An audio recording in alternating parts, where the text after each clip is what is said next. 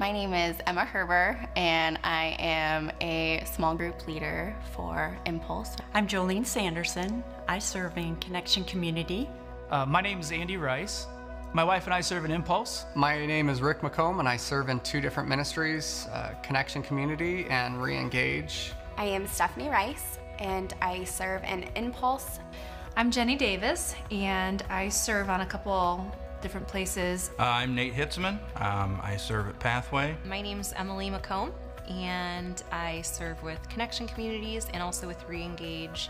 I'm Jamie Nicholson, and I've served at Pathway uh, in many different areas, but my passion has been uh, for uh, uh, mission work, and uh, specifically Mozambique. so I'll be going back to Mozambique for my fourth trip. Um, it has changed my life. I couldn't say about uh, 10 years ago that I would have ever been able to share the gospel. And um, to be able to, to go to Mozambique and be able to share the gospel with the Mozambican people um, has just been a, a, privilege and an honor, and, and, it is what God's called me to do. Um, the other thing about uh, about serving and, and, serving at Pathway, to me, it uh, it makes the church feel small. Uh, I've met so many great people, and walk into church on Sunday and and just say hi and and have a uh, have a story and have a relationship with just a bunch of different people, which is uh, which I think is uh, is great and makes uh, Pathway um, my home church.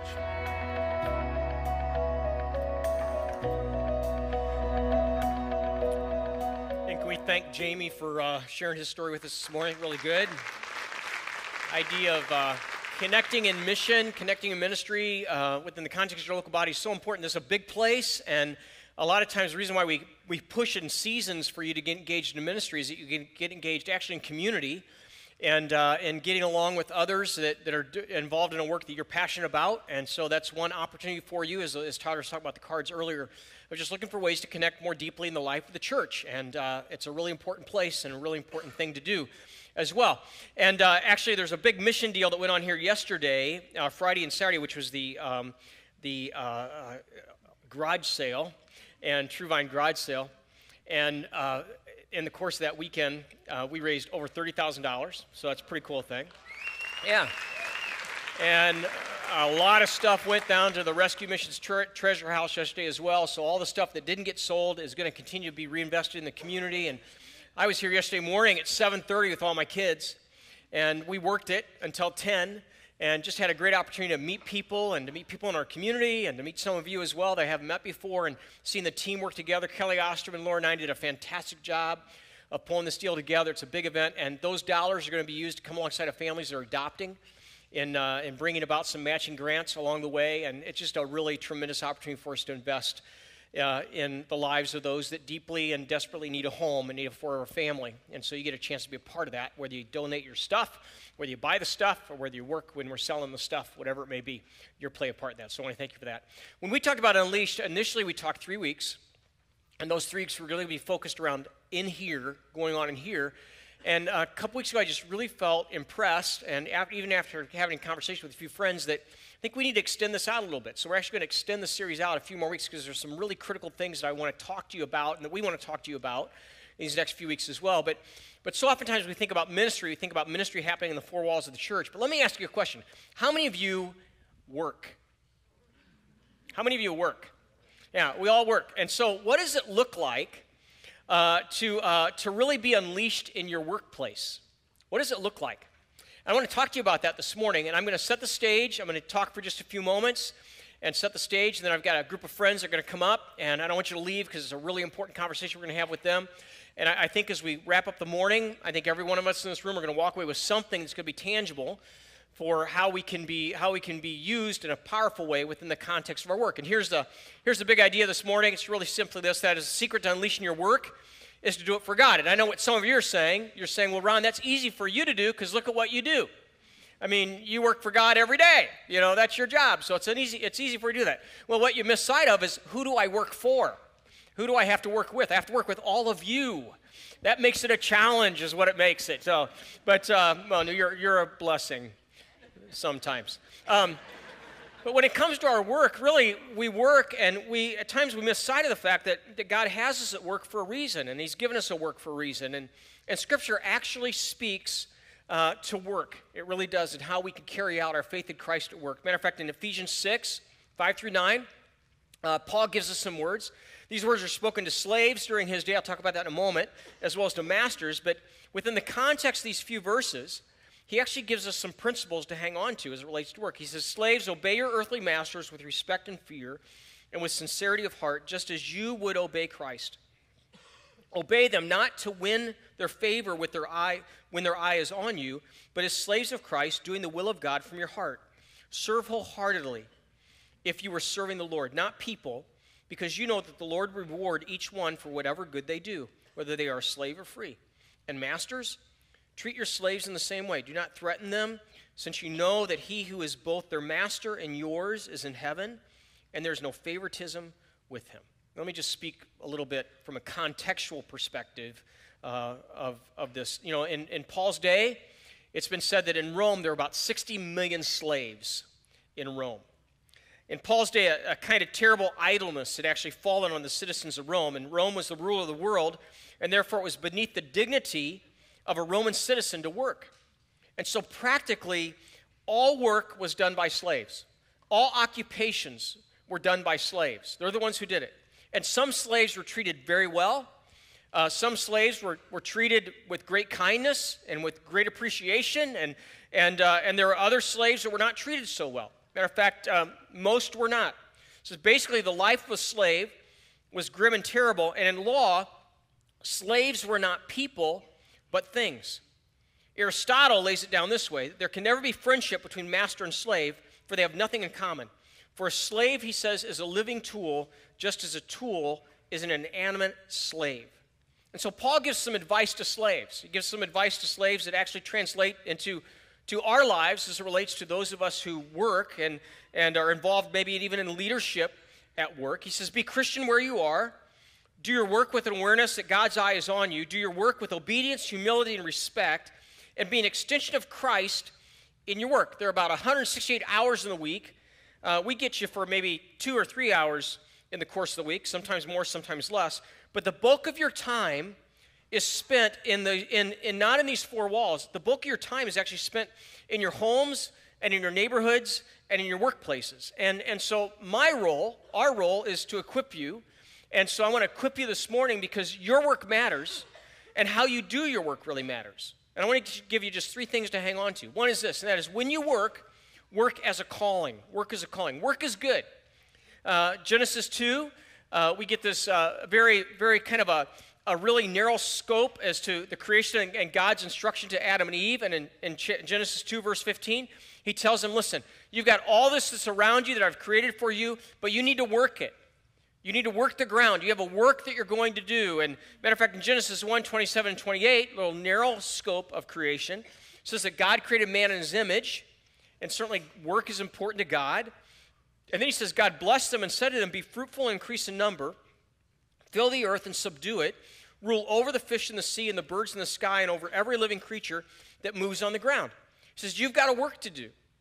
And go and do your work. And, and, and I made you to work. And so therefore work. Now here's here's where, where we kind of get into it gets a little slippery here within the context of the church community. What there is a tendency to do is this and that is we tend to separate sacred from secular. We say well the work that you need to find and the ministry you need to find needs to be found within the four walls of your local church. And i would agree that there is tremendous importance when you're in the context of a local body of christ connect in a ministry Connect with one another. Develop those gifts and use those passions. Some of you, you work in jobs and you go to work and you're thinking, this is not my passion, but you find your passion within the context of ministry, and that's where you find a deep sense of fulfillment. But the fact is, is that we cannot separate sacred from secular. What happens in your heart makes a difference where you're working and within the context of those environments. And so when you live from the perspective of calling, what you begin to see is you begin to see your place of employment as a strategic place where God has placed you. Uh, last Monday, I got an email from Sherry Beal. She's the wife of Brian Beal. She's a neuro occupational therapist over at Parkview. She wrote me a very long email, And uh, she apologized actually for it. And uh, she wrote me this email. She had no idea what she was setting herself up for because she was writing me the email to encourage me. But in the midst of it, she actually gave me an illustration. So I probably owe her a couple bucks for this. Um, but, uh, but she was talking about, uh, at the beginning of her email, about her job and as, as it relates to even dealing with difficult patients. It's really, really an awesome image of someone who takes their work as a calling. She says, At times I have to work with difficult patients, and gang members, surviving drunk driver, or just plain mean spirited people. That's when I have to decide to love them. How do I do that? I came up with a method to help me see difficult people as unique human beings. They don't know this, but inside my head, I force myself to take in all of their physical features, noting the color of their hair, eyes, skin, tall, short, skinny, not so skinny, how they sound, and then I praise God for the work of art that I'm beholding, for they are His creation. Then inside my head, I literally say, God loves you, then I love you too. And oftentimes I sneak in some of God's word when conversing with them because they are not usually complainers. They are usually complainers about how everyone is not doing their jobs or whatnot. I simply say, I hear what you're saying. All I can say is, I am for you. I am not against you. Hmm. I used to not struggle trying to not be judgmental during therapy sessions, but now I can push away the details as soon as I enter the room, seeing each person for who they are and accepting them just as they are. I'm thankful God has taught me to open up my eyes and soak in what He has fearfully and wonderfully made. And then sometimes I get to meet that one of a kind patient. And over the years, I've had a few. And she begins to talk about a 30 year old woman that's battling with cancer and how she's walking with her through that, through that stage of her life as well. It's about working from a calling. The second is, and that is that you have to work for a platform. No matter the job, no matter the position that you're given, uh, a platform whereby Christ can be seen and shared through the work, through the way that you work. I mean, you're given this platform. God has given you the platform. And in giving that platform, He's given you the opportunity to allow Christ to be seen through you as, as in the way that you work. I had this happen to me this past week. Let me kind of give you a little personal illustration that happened on Tuesday, or, or this, this past week, I think maybe Thursday evening. I, I went to a local grocery store, won't tell you what it is, but I decided to get healthy. I need to start getting healthy in what I'm eating. So I went to the store to buy healthy food, and I filled up my cart with some healthy food. And I got to the checkout line, and there's a, there's a young guy behind the checkout line, teenager behind the checkout line. And, uh, and so I, he's running my groceries through. Came to like $40 in groceries. And so in the midst of that, I, I, put my debit card in the chip machine. I don't know about you. Any of you hate chip machines? I hate the chip. I don't know who created that thing, but I hate those things. So I, I put the chip in there, and uh, I, you know, I'm waiting for it to come through, and, and then it kind of did something which normally it does. So I pulled the card out, and then it's to pulling the card out. He finally he asked me, he says, "Do you have a you, do you have a account, you know, a number here?" I said, "Yes." So I give him my number. He punches that in. And uh, so I'm going to run my card again. He said, no, hold on for a second. He reaches into his wallet, pulls out a card of some sort, slides it, and uh, punches in something else, and uh, then finishes running through. So I'm thinking to myself, well, my obviously my debit card went through, but I should have punched in my code. And so anyway, he says, here you go. And so I grabbed my groceries, walked out, and I get home. My girls were in the kitchen. I said, you know what? I was just at this store, bought these groceries, and I said, there was some young kid behind the checkout lane, and I think he just bought my groceries. And I got in, I pulled out the receipt, and I looked at the credit card number, those last four numbers, and they were not my numbers. That kid bought my groceries. He brought my groceries. I'm thinking to myself, he didn't look old enough to have a credit card. So he probably had his dad's credit card. So, in other words, you know, he didn't buy my groceries. Hey, dad's going to buy your groceries tonight. I think I should have bought more groceries, is what I should have done. No, not really. So later that night, I'm on a run because I want to get back in shape. And uh, so I'm going through, I'm making the, the, the run around the Y, and, um, and I've got this song that I'm playing over and over and over and over and over again. And, uh, and then in the midst of, of doing this little run and listening to this song, it was as if the Holy Spirit was just kind of nudging me. It was one of those moments, just nudging me. And just all I heard was, He's watching. He's watching you, Ron. He's watching. And friends, we all have people watching. And your job is not a distraction from true ministry, but it's ministry. And your, your vocation is actually a place to live out your calling. It is. Now, let me just say something to, to all the moms in this room, the stay at home moms and stay at home dads. You have a huge work to do. I want to say it. Next week, we'll talk to moms next week. You got a huge work to do. Now, as a single dad, oh my goodness, I appreciate it even more. And, and I just want to say that the work that you do, it is an incredibly, probably the most valuable work that anyone could do of making that decision to honker down with your kids and to raise them and to invest in them and to influence them. And I just want to say right at the beginning, thank you, thank you, thank you for taking your work so seriously. Can we thank them, thank them as well this morning? We really should. So, Romans 12, 10, 11 says, Be devoted to one another in love, honor one another above yourselves, never be lacking in zeal, but keep your spiritual fervor serving the Lord. He says, Do your work with excellence. Do your work with excellence. God's given you this work, do it with excellence, and do your work as serving the Lord. In other words, don't get lazy on the job. Don't fall asleep on the job. Now, let me just tell you this. If you end up falling asleep on the job, I've given you 10 excuses for what you can say if, in fact, you're caught napping at your desk. Here it is. Number one, they told me at the blood bank this might happen. Number two, this is just a 15 minute power nap like they raved about in that management course you sent me to. Uh, number three, whew, guess I felt the t- felt, I guess I left the top off the whiteout.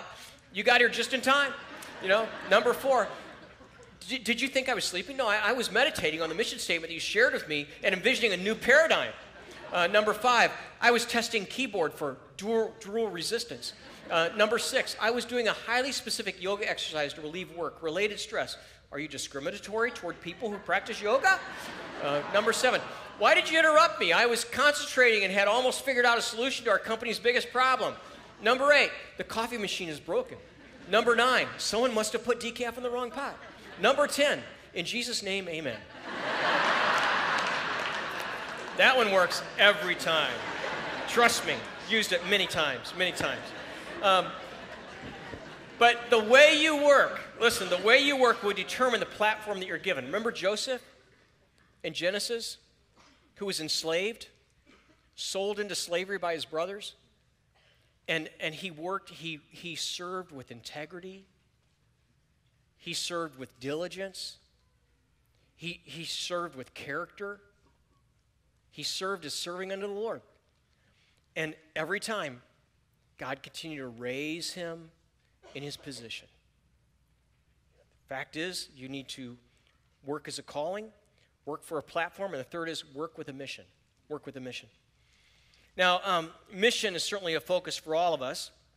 And, and certainly for some of you, you may walk into work and you're thinking to yourself, oh, I got to do this job again. Well, if you turn it towards mission, you realize my mission here is to live out the character of Christ to those around me and to be responsive to those around me, to be sensitive to those around me. But let me say this it's difficult to stay on mission without rest.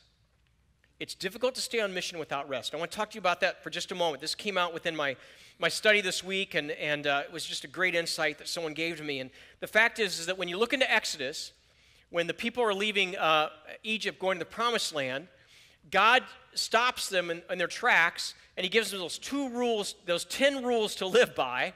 And one of those rules is that you're to set aside a day, the Sabbath, and you're to keep that, to keep that day holy. And really, what Sabbath is Sabbath was there to remind them where this all comes from, who this all comes from. It was a reminder, remembering, causing them to remember who provides for you. And Sabbath serves to reorient our focus back to what really matters most. Think about this. When Adam and Eve were created, on what day were they created? You might want to guess. What was the day? First day, second day, third day, fourth day, fifth day? Sixth day. So on the seventh day, what did they do? They hadn't even done anything yet. They rested. It's almost as if, there's, a, there's just a little thought here. It's almost as if God creates them on the sixth day to do work. They go into that seventh day of rest, realizing that on the first day following their existence, they were already resting and they remembered what God had done, not what they had done. And we need to understand what our ultimate mission in his life is and work towards that. But Sabbath keeps you in perspective. Let me just say this to you right now. This is the preacher preaching to the preacher. There's an old adage, I've used it before those who can't do, teach. I'm teaching about Sabbath, having a hard time with Sabbath. Laura was our Sabbath Nazi. I kid you not. I mean, uh, the, the, Sunday, she was the Nazi on Sunday. And that may not have been a good thing to say. But uh, anyway, Mm, edit that one. Um, but but she, I mean, she was really, really just. She wanted us to to hold on to that to that Sabbath, and you know, no electronics and no TV and and uh, no homework and whatever else, and and uh, and you don't even want to know what goes on in our house right now. And and yet there's that that moment now for me where I'm realizing it's easy for me. It's very easy for me to tap every day. Tap every day. It's easy for me to, to go through a week and work in some way every day. And what I'm realizing is, and, and this has been helpful for me, a good reminder for me, is that when I step back and I take a Sabbath, it gives me perspective. Worship reminds me who's in charge. The worship we just had a few moments ago reminds us who's in charge in those moments. That last song that Jordan sang reminds us who's in charge. It's refreshing. It challenges us. Uh, and, and the fact is that sometimes for me, um, you know, even the other night when I was out on that little run, that was Sabbath for me, believe it or not. I mean, I, I enjoy doing that. It's good for me to do that, relieve some stress, some challenges. I always have my headset in. There was a song I landed on this past week. I, I was, as I was running, I heard this song, and I ended up just, I, I had heard it probably multiple times, but for some reason, the other night, I heard it. And I started playing it over and over and over and over and over and over and over again. And God used it just to speak into my just to speak into my soul. This morning, as I pulled in the lot, I had Bella with me, and I pulled in the lot and I parked my, my car, and I just sat there, and she just kind of moved up onto the council. And we just sat there quietly, and once again, we just listened to that song just to gain some perspective. Rest allows you to reflect on your identity found in Christ, not in what you do. Steve Cochran said it well. He said, You don't rest from your work, you work out of your rest. And so uh, you, need, you need to rest at times. And we all need to etch out time to rest and to listen and to respond to the leadership of the Holy Spirit. And when you do, you're able to work from the perspective of His leadership in your life. Moms, stay at home dads, you know, I, as I said, I, I get it. And the fact is that, that it's hard work.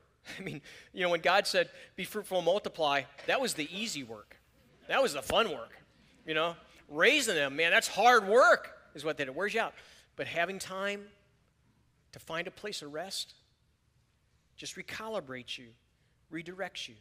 And so when it comes to your work, work as a calling, work for a platform, and work with a mission. So we want to talk to you about that in a real practical way over these next few moments. And as we as we move into this this part of the message, there's a little little video that we put together to help get your mind wrapped around this. And I would really encourage you, don't leave during this time. What we're going to do in these next few moments is incredibly practical and going to be meaningful for everyone that's in this room. So watch the monitors.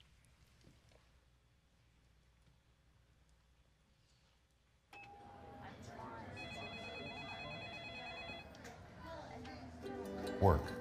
Most of us spend over half our lives at work. Whatever it is you fill the 9 to 5 with planting crops, building cars, taking care of patients, teaching students, or running a business work is where most of life happens. For some, work is a drain. They dread Monday mornings, forcing themselves to struggle through because they need the paycheck, while many times feeling trapped and beaten down by their job. Some people love their work. They're good at what they do, it energizes them. It's a place of security, a place to chase dreams, desires, and success. At work, they find fulfillment. We often forget to connect our faith to our work. We don't consider the reasons God may have us at our job. We don't think about the purpose and meaning we could bring to our work. We simply focus on how it makes us feel. But what if we saw our work as an opportunity to worship? As Christians, we are called to serve Christ with our lives. For a few, that means working as a pastor, a youth minister, or a missionary.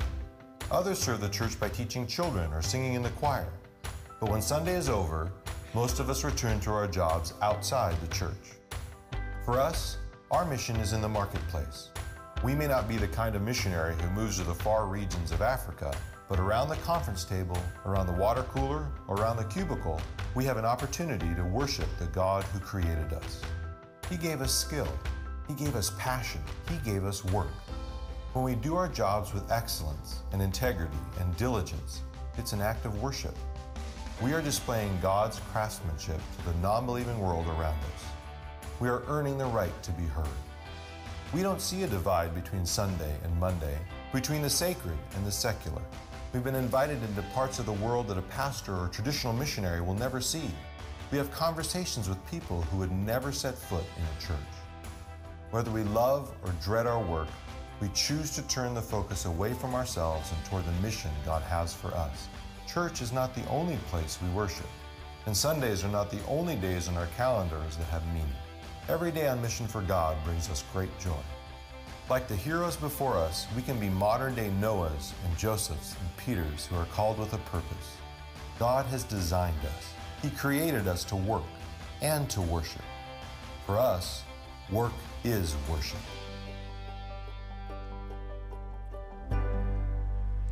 So we're going to just take the next few moments. We're just going to kind of make this real practical, and got a few friends up here that are going to help me do this. And so, why don't we start from the end and work our way this way? Kevin Williams. Um, I'm CEO and president of Univertical in Angola, Indiana, with manufacturing plant in Suzhou, China. Yeah, good. I'm Janine Murphy, and I'm a second grade teacher at Huntertown Elementary.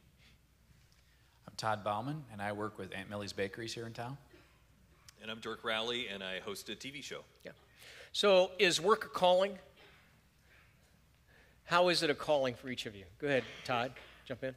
Absolutely. Um, I, I, think that, um, you know, if we open our eyes to them, opportunities are there. Uh, I think that video pointed out so well.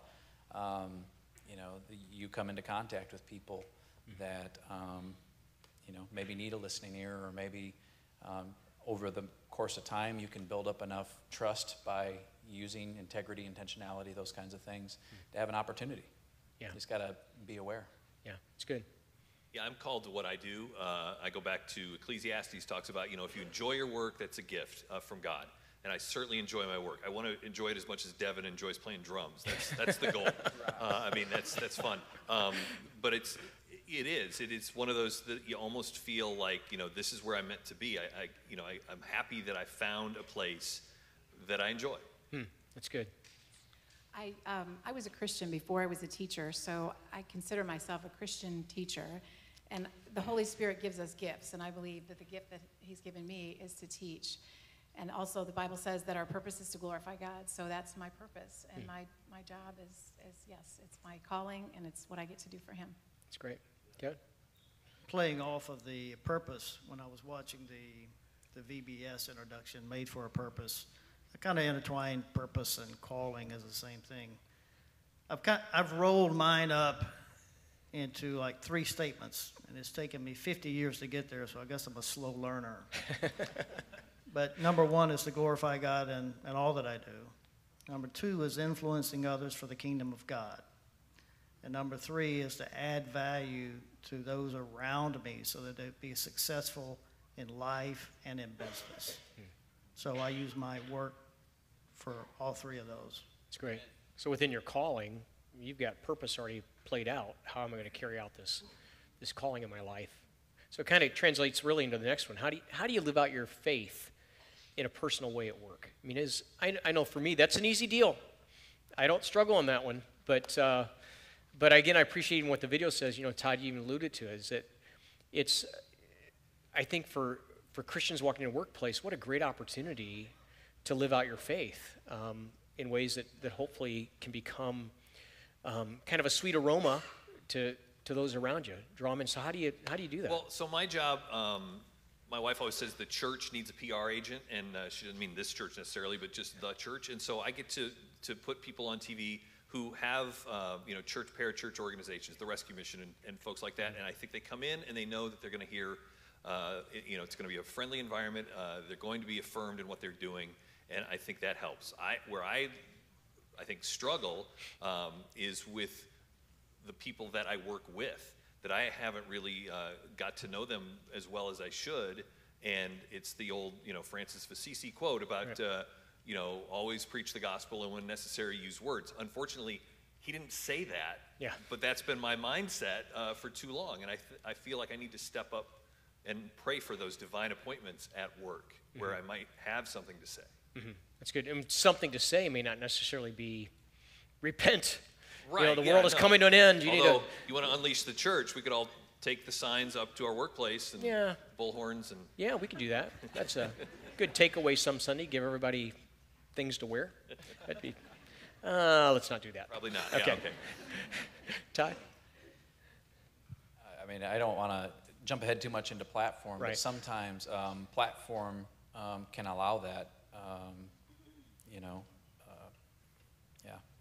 I don't know. You just you, you, you work with them enough, and you say, "Hey, this success um, can really." Uh, it's going so well; it has to be God touched, and they get to know, um, you know where you stand. And I just recently had a, a, a coworker that I've been doing this with for a while who lost his dad, and he's just really struggling. And um, say, if there's anything I can do to help, you know, let me know. So it's it's not like you're out there with the blowhorn. I mean, sometimes it feels like you know when you're saying, hey, you know, I'd like to share my faith with you. They're like, um, they're hearing, hey, do you mind if I judge you? You know, Mm. and that's that's That's that's, not it at all. Um, so you have to earn that, I guess, and sometimes um, it takes a little bit of time to do. But when the opportunities arise, um, you know, be brave and and reach out and say, hey, is there anything I can do to help you with that? It's good being sensitive. I, I try to be uh, sensitive to the Holy Spirit and, and just listen to what, you know, the kids, as they come in each day, if they're, whatever kind of mood they're in, they're bringing in whatever's that going on, a lot of times at home, and they're struggling with it and processing it. So I'm, I'm just trying to be sensitive to them. You know, I have scripture verses on my desk to keep me focused and to help remind me of why I'm there and just ways that I can um, just draw strength from God right there at my, my little spot. It's good. Kevin? Yeah, the way is is just walking through life with people, Hmm. through the ups and through the downs, and sharing with them the hope that I have that gets me through the difficult times. Yeah, it's good. Do you um, on the you know we talked about using the platform. How do you, how then as a Christ follower, how do you use the platform that God has given each of you to have an influence on those that are around you? I mean, all of you are in different positions, you know, but how do you use that? What's good, Kevin? I'm going to share a different story. Okay. Um, but I think that we're we're called to be faithful farmers, Hmm. planting seeds. Mhm. And a lot of those seeds, we won't know the result until we get to heaven. Mhm. But um, you know, my first uh, my responsibility in China, I was a general manager and helping build that business. And so I was the company representative with the local government officials. And a couple of times a year, I would have to go meet with them, have dinner with them, or have, I think we always did lunches. So, not the first time, but the second time, I shared with them that I was a Christian. And, and before we had, which is my tradition, before I have lunch, I always say a prayer. and I asked them, Is it okay if I pray? And they said, Sure. So I prayed. So fast forward a few years later, and I would do this two to three, two, about two, two to three times a year. So fast forward on to when um, our time was coming to an end, had another one of those lunches planned, and I was running late. I always left 30 minutes early, but I never got there because of the traffic or whatever. So I showed up late, and everybody's sitting around the table, and they're waiting on me. And so I get there, I sit down, and I pick up my chopsticks, and I start eating, and nobody's eating. And I said, What are you guys waiting on? They said, We're waiting to pray. I'm like, Oh, all right. I, th- I thought that was pretty cool. That's a great story. That's a great story. What what else? Go ahead, Janine. Well, um, we have a, a moment of silence at the beginning of each day after we say the pledge. And so at the beginning of the year, I just I let the kids know that this is a time for you to just um, quiet yourself, time to refocus. And if you want to pray, I'll be doing that. So if you want to just close your eyes and pray. And so each day, I just make that a real serious um, part of our day. And that's something that we do at the beginning of each day. Um, I also let the kids have a special week where they get to be the student of the week and they get to fill out a poster. And so I do the first one at the beginning of the year and I share my favorite book, which is the Bible. And then I talk about, you know, it says, what, what makes you special? And I said, well, because God made me.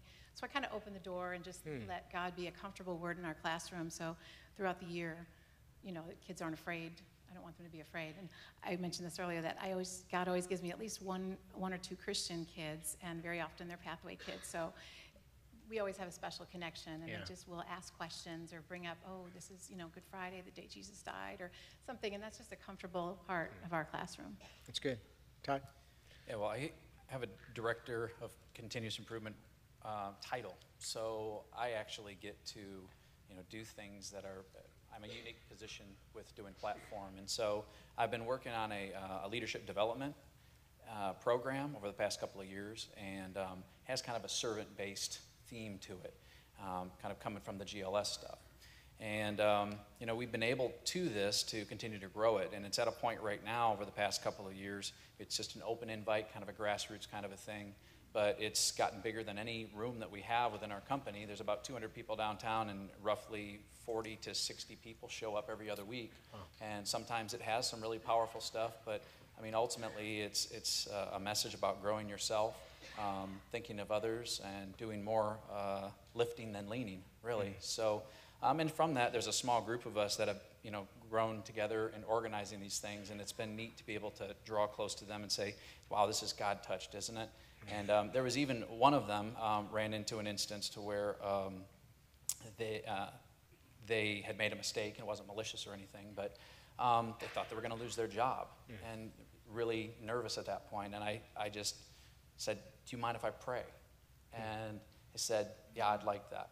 And so I just don't feel like without that platform, without that experience, that I would have been able to have that opportunity. Yeah, kind of earned the respect and earned the right to speak into their life. Yeah, it's good.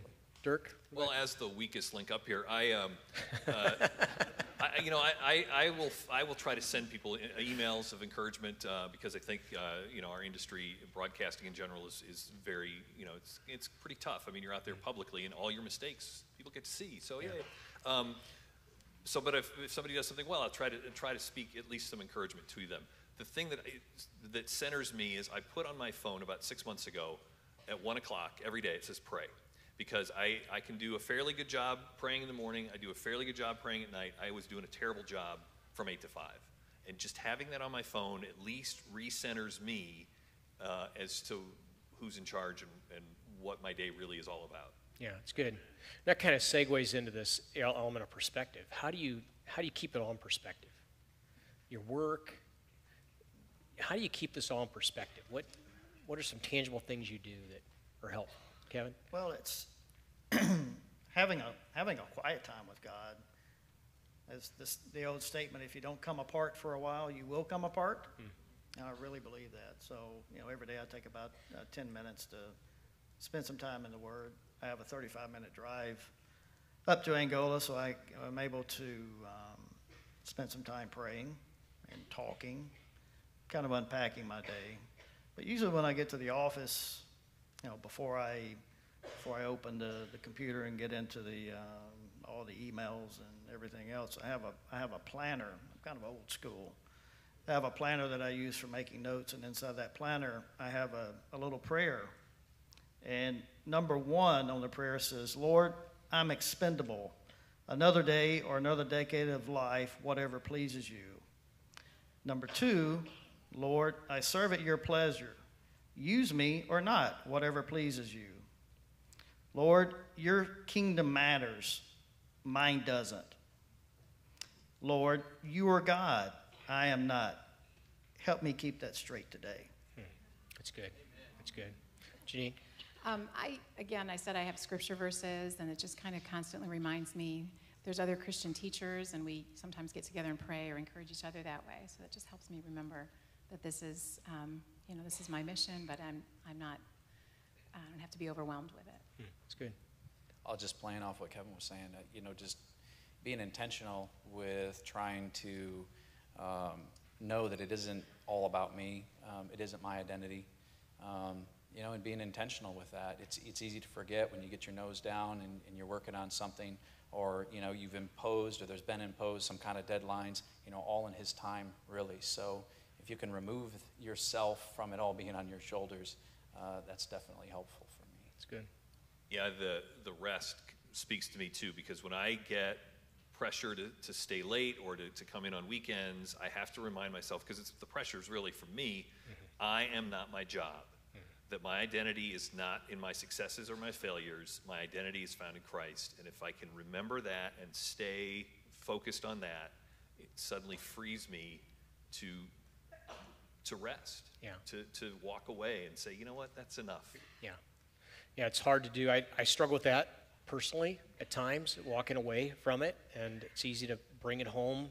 You know, for me to bring it home all the time. I bring it home all the time. But uh, I guess we talked about, sec, you know, first service, and that is that it's pretty amazing that uh, that the minute that you die, the world actually keeps going on without you. I mean, you would have thought that it would stop, but it doesn't. And and it doesn't take long. It takes maybe about five minutes before somebody else comes in and fills your spot. you know, which really feels good. Uh, but you don't feel it anyway, so I guess it really doesn't matter. But, uh, but I think it, it, it, helps you to, to realize, remembered over the years, just that, that sense that in the end, it's not going to be my work that's going to be sitting with me up. It's going to be those that are closest to me, those that have the highest value to me. And, and that, when you're able to keep that perspective as well, I think that, that keeps everything right, rightly aligned with where you need to be. So it's good. Hey, thanks. Let's thank these guys for. Very good.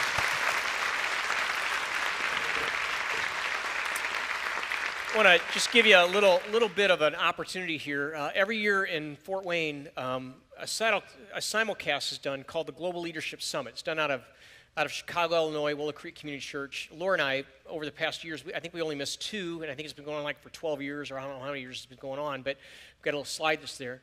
And, uh, and actually, Kelly Bird, who uh, is the local uh, connection for this, the guy that leads this deal. Kelly was actually going to be with me uh, this morning to share with this, and uh, he had his appendix taken out last night. So he emailed me from the hospital bed going, I can't come. And I said, stay where you're at. Uh, but anyway, there's another site that's here that, that has been developed through his leadership, fortwayneleaders.com. If you go to that site, you can actually sign up on a discounted price on that, and you can actually, there are actually scholarships that are out there as well. The business community in Fort Wayne has come around this and invested a, a tremendous amount of money in this deal. Fort Wayne is the largest site in the world. And there will be opportunity for over 5,000 this year at the Coliseum, so easy parking, uh, great facility. And I'll tell you what, um, you're going to be challenged. I don't care if you're, I don't care in what field of work you're in, I don't care who you are as a student or whatever else. This is a real opportunity just to be challenged, recharged, and, and get refocused as well. And so I just really encourage you to take a look. At that. I'd love to see Pathway be the largest church represented at the summit this year.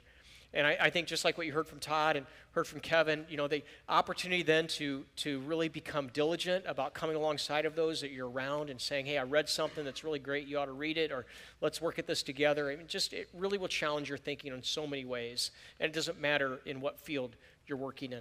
I want to give you one last uh, prayer request, and um, that is that Angie and Bob Morris, uh, they are around our church for a number of years.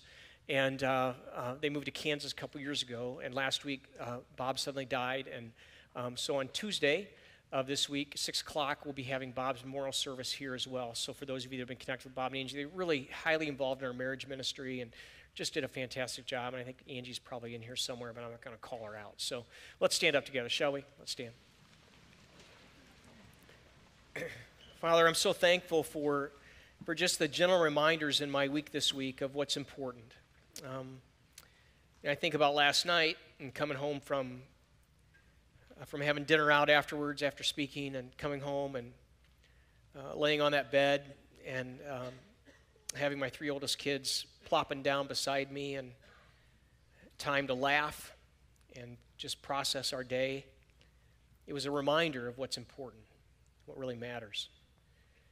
And Lord, I, I, would pray for all of us that as we leave this place, we realize that we're going to walk into our homes and our neighborhoods and our workplaces, maybe a restaurant to eat, that we are a reflection of you wherever we go.